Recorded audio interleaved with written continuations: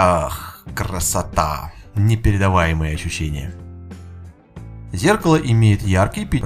Номера начинают читаться при приближении машины метра на 2 на 3 к камере. Но лучше такая камера, чем никакой вовсе. Есть она и хорошо. Зато при парковке хороший помощник. Камер в городе у нас немного, но те, что есть, радар их видит. Это именно радар, который ловит излучение камер. Пример работы GPS базы данных камер будет чуть позже. Впереди станция радара. Ограничение скорости 60 км в час.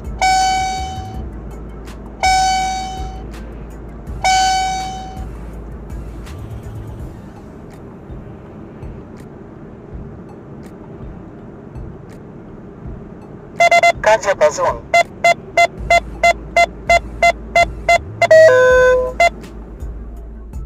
Устройство вполне корректно отработало и за 500 метров поймало камеру и предупредило водителя.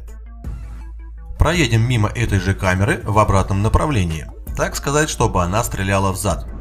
Впереди станция радара. Ограничение скорости 60 км в час. К-диапазон.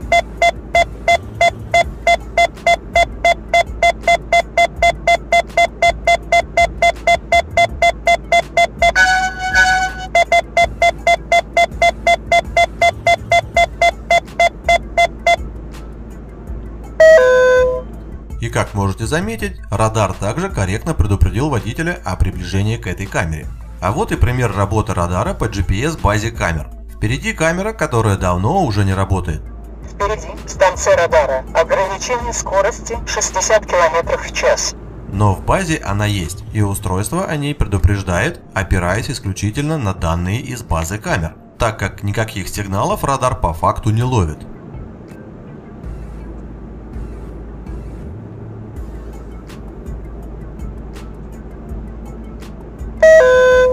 Все, камера пройдена, но при этом никаких диапазонов устройства нам не выдавало. А вот еще пример работы радара по базе GPS. Впереди пост ДПС, на котором по факту в данный момент камер нет, но могут быть.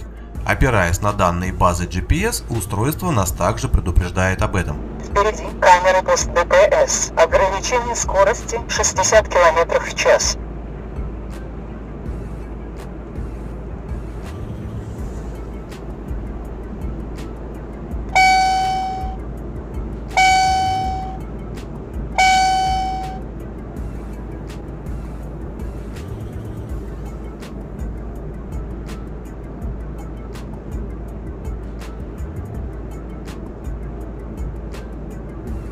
Кстати, это устройство не только пишет видео и предупреждает о камерах, оно также пишет маршрут движения и телеметрию. Маршрут движения, скорость движения и так далее. Для того, чтобы все это просмотреть, устанавливаем на ноутбук или компьютер GV Player и просто открываем видео на карте памяти. И сразу начинается воспроизведение не только видео с передней камеры, но и с задней. А также на Google карте отображается маршрут движения, соответствующий времени на записи. И мы можем наблюдать, где именно были сняты те или иные кадры.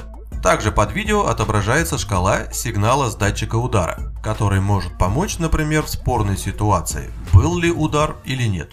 Ну или поможет оценить качество наших дорог. Конечно, это хорошо, что можно